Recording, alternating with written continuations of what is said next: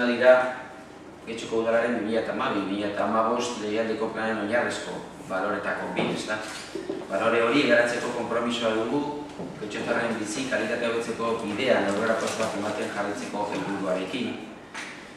Balore horiek aplikatzeko Getxoko udalaren benetako funtzionamentuaren ragazki zabal bat erakusten duten hainbat eduki jartzen dugu Getxoko herritarren eskura web horrialdean bost arlo handitan banatuta modu simple eta zuzen batean, eta jarraitasunez jokatuz, udalaren kudeaketaren errealitatea ezagutzeko beharrezko informazioa ematea da helburua, beti ere etengabeko hobekuntzarekiko udalak duen konpromisoa astu gabe, baita jardun eremu honetan ere.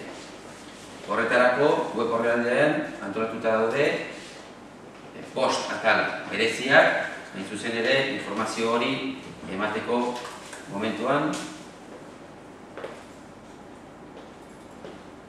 eta bostetal horiek izango lirateke alde batetik udal korporazioei korporazioari buruzko informazioa bigarrena herritarekiko eta gizartearekiko harremanak hirugarrena garretasun ekonomikoa eta finantzia garretasuna laugarrena zerbitzuen kontratazioen garretasuna eta bosgarren bat izango litzateke hirigintza eta herrilanaren lanari buruzko garretasun edo indikadoreak.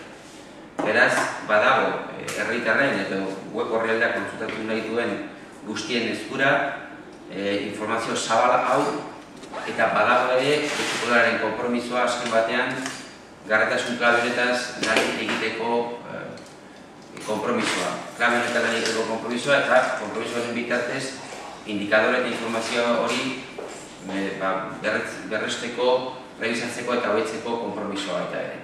Eta hortan jarretuko. Bueno.